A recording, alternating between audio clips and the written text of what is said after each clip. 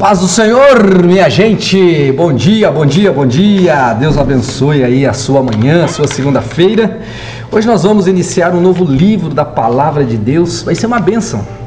E hoje nós vamos ler a segunda carta do apóstolo Paulo ao seu é, fiel escudeiro Timóteo.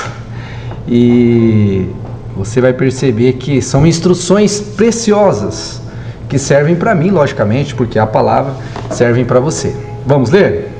Segundo Timóteo diz assim: Eu, Paulo, apóstolo de Cristo Jesus, pela vontade de Deus, enviado para anunciar a vida que ele prometeu por meio da fé em Cristo Jesus, escrevo esta carta a Timóteo, meu filho amado. Que Deus, o Pai, e Cristo Jesus, nosso Senhor, lhes dê em graça, misericórdia e paz Coisa linda, hein? Graça, misericórdia e paz. Dou graças por você ao Deus que sirvo com a consciência limpa, como o serviram meus antepassados. Sempre me lembro de você em minhas orações, noite e dia. Quero muito revê-lo, pois me lembro de suas lágrimas. Nosso reencontro me encherá de alegria. Lembro-me da sua fé sincera, como era de sua avó Lloyd e de sua mãe Eunice. Eu sei que você, eu sei que em você essa mesma fé continua firme. Por isso quero lembrá-lo de avivar a chama do dom que Deus lhe deu quando impus minhas mãos sobre você. Pois Deus não nos deu um espírito que produz temor e covardia, mas sim que nos dá poder, amor e autocontrole. Portanto, jamais se envergonhe de falar com outros sobre nosso Senhor. E também não se envergonhe de mim, que estou preso por causa de você com a força que Deus lhe dá, esteja pronto para sofrer comigo por causa das boas novas. Pois Deus nos salvou e nos chamou para uma vida santa, não porque merecêssemos, mas porque este era seu plano desde os tempos eternos. Qual era o plano? Mostrar sua graça por meio de Cristo Jesus. E agora ele tornou tudo isso claro para nós com a vinda de Cristo Jesus, nosso Senhor, que destruiu o poder da morte e iluminou o caminho para a vida e a imortalidade por meio das boas obras, das quais Deus me escolheu para ser pregador, apóstolo e mestre. Por isso estou sofrendo assim mas não me envergonho, pois conheço aquele em quem creio e tenho certeza que ele é capaz de guardar o que me foi confiado até o dia de sua volta. Apegue-se com fé e amor em Cristo Jesus, ao modelo de ensino verdadeiro que aprendeu de mim, pelo poder do Espírito que habita em nós. Guarde a verdade preciosa que lhe foi confiada. Como você sabe, Todos os da província da Ásia me abandonaram, incluindo Fígilo e Hermógenes. Que o Senhor demonstre misericórdia a Onesífero e sua família, pois muitas vezes me animou em suas visitas e nunca se envergonhou por eu estar na prisão. Pelo contrário, quando veio a Roma, procurou-me diligentemente até me encontrar. Que o Senhor lhe mostre misericórdia no dia da volta de Cristo. E você sabe muito bem quanto ele me ajudou em Éfeso. Capítulo 2. Olha o bom combate, o bom soldado de Cristo e o seu bom combate. Meu filho, seja forte por meio da graça que há em Cristo Jesus. Você me ouviu ensinar verdades confirmadas por, por muitas testemunhas confiáveis. Agora, ensine as a pessoa de confiança que possam transmiti-las a outros. Suporte comigo o sofrimento como bom soldado de Cristo Jesus. Nenhum soldado se deixa envolver em assuntos da vida civil, pois se o fizesse, não poderia agradar o oficial que o alistou. O atleta não conquista o prêmio senão seguir as regras. E o lavrador que trabalha arduamente deve ser o primeiro a colher o fruto de seu esforço. Pense no que estou lhe dizendo. O Senhor o ajudará a entender todas essas coisas. Lembre-se de que Jesus Cristo, descendente do rei Davi, ressuscitou dos mortos. Essas são as boas novas que eu anuncio. E, por causa disso, sofro e estou preso como um criminoso. Mas a palavra de Deus não está presa. Portanto, estou disposto a suportar qualquer coisa, se isso trouxer salvação e glória eterna em Cristo Jesus, para os que foram escolhidos. Esta é uma afirmação digna de confiança. Se morrermos com Ele, também com Ele viveremos. Se perseverarmos com Ele, reinaremos. Se o negarmos, Ele nos negará. Se formos infiéis, Ele permanecerá fiel, pois não pode negar a si mesmo. Lembre-se essas coisas a todos e ordene-lhes na presença de Deus que deixem de brigar por causa de palavras essas discussões são inúteis e podem causar grave prejuízo a quem as ouve. Esforce-se sempre para receber a aprovação do Deus a quem você serve. Seja um bom trabalhador, não que não tem do que se envergonhar e que ensina corretamente a palavra da verdade. Evite conversas tolas e profanas que só levam a mais comportamentos mundanos. Esse tipo de conversa se espalha como câncer, a exemplo do ocorrido com Imineu e Fileto. Eles deixaram o caminho da verdade, afirmando que a ressurreição dos mortos já aconteceu. E com isso deveriam e com isso desviaram alguns da fé. Mas o alicerce sólido de Deus permanece firme com esta inscrição: O Senhor conhece quem pertence a Ele, e todos que pertencem ao Senhor devem se afastar do mal. Numa casa grande, alguns utensílios são de couro e de prata, e outros de madeira e de barro. Os utensílios de mais valor são reservados para ocasiões especiais, e os de menos valor para uso diário. Se você se mantiver puro, será um utensílio para fins honrosos. Sua vida será limpa e você estará pronto para que o Senhor, que o Senhor da casa o empregue para toda boa obra. Fuja de tudo que estimule as paixões da juventude. Em vez disso, busque justiça, fidelidade, amor e paz na companhia daqueles que invocam o Senhor com coração puro.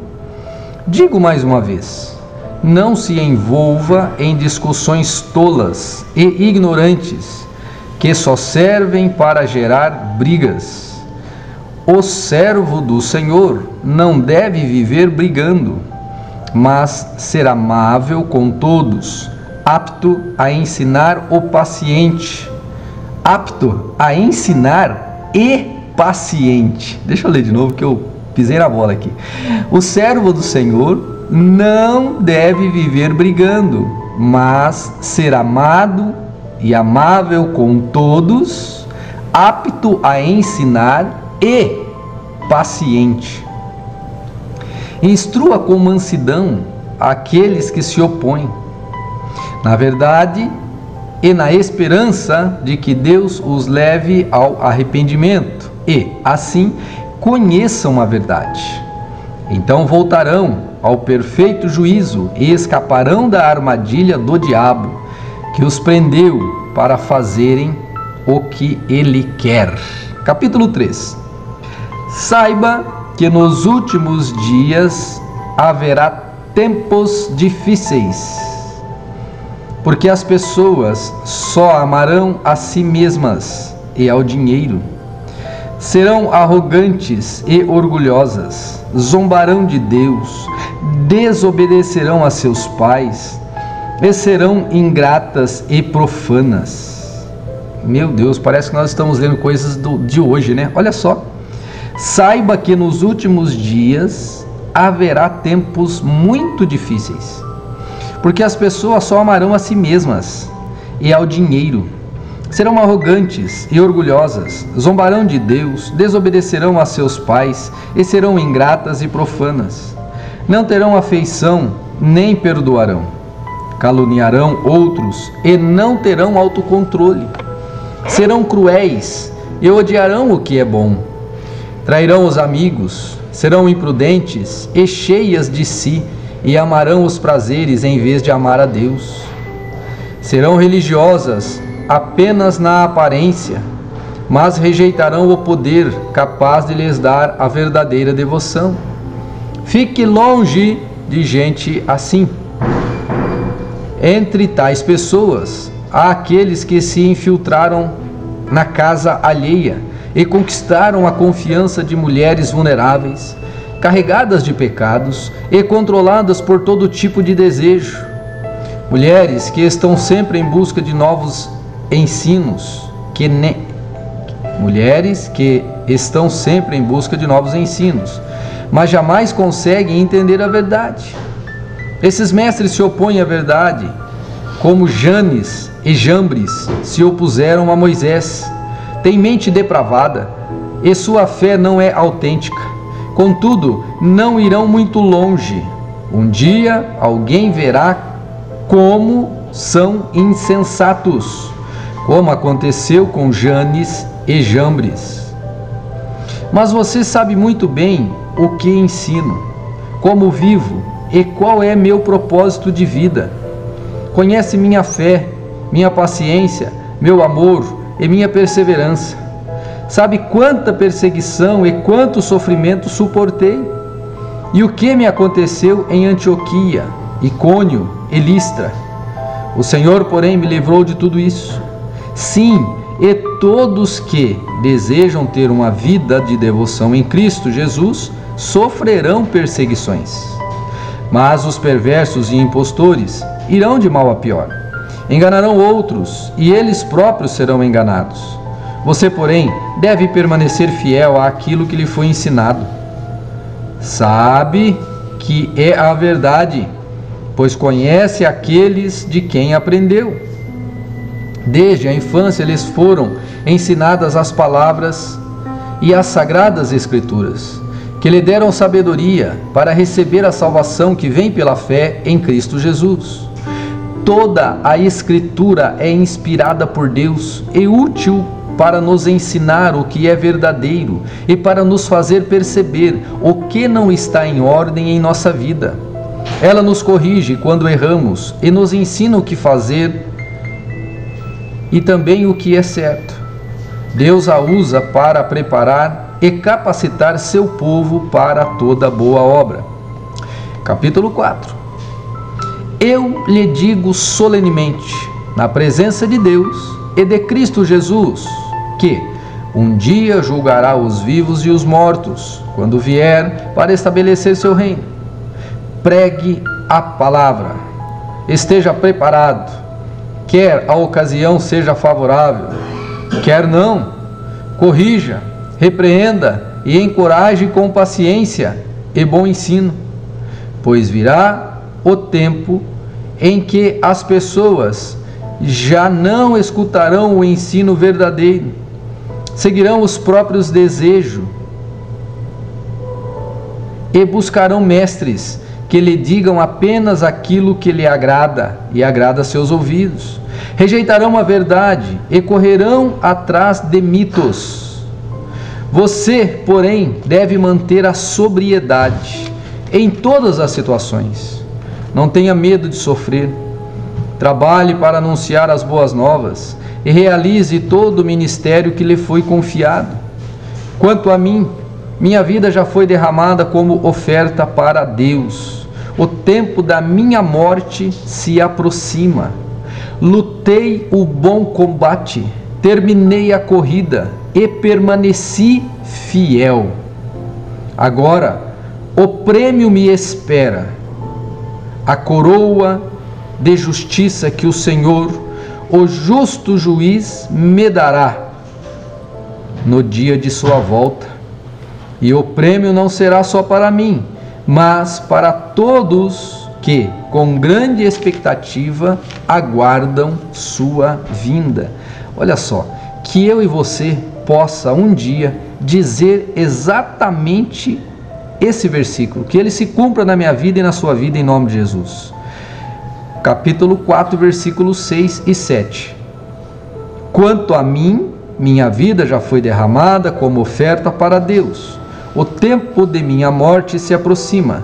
Lutei o bom combate, terminei a corrida e permaneci fiel. Outras, versão, outras versões diz assim, né? Lutei o bom combate, guardei, terminei a carreira e guardei a fé. Lindo, né? Versículo 9. Por favor, Vem assim que puder. Demas me abandonou, pois amas as coisas, pois ama as coisas desta vida, e foi para Tessalônica. Crescente foi embora para a Galácia, e Tito para Dalmácia. Apenas Lucas está comigo. Traga Marcos com você, pois ele me será útil no ministério. Enviei Tíquico a Éfeso. Quando vier, não se esqueça de trazer a capa que deixei com Carpo em Troade.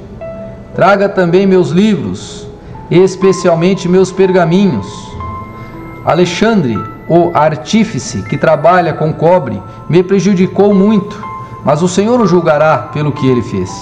Tome cuidado com ele, porque se opôs fortemente a tudo que dissemos. Na primeira vez que fui levado perante o juiz, ninguém me acompanhou todos me abandonaram. Que isso não seja cobrado deles. Mas o Senhor permaneceu ao meu lado e me deu forças para que eu pudesse anunciar as boas novas plenamente, a fim de que todos os gentios as ouvissem. Ele me livrou da boca do leão. Sim, o Senhor me livrará de todo ataque maligno e me levará em segurança para seu reino celestial. A Deus seja a glória para todos sempre. Amém. Saudações finais. Envie minhas saudações a Priscila e a Áquila e a família de Onesíforo. Erasmo ficou em Corinto e deixei Trófimo doente em Mileto. Faça todo o possível para estar aqui antes do inverno.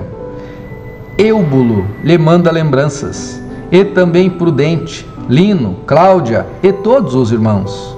Que o Senhor esteja com seu espírito e que a graça esteja com todos vocês. Aleluia! Que carta preciosa, e merece um estudo mais detalhado, né? Mas você terá o ano que vem, em nome de Jesus, um estudo detalhado deste livro, desta carta preciosa, irmão Timóteo. Quantas verdades preciosas, meu Deus! Deus abençoe, meus queridos, e até amanhã em nome de Jesus.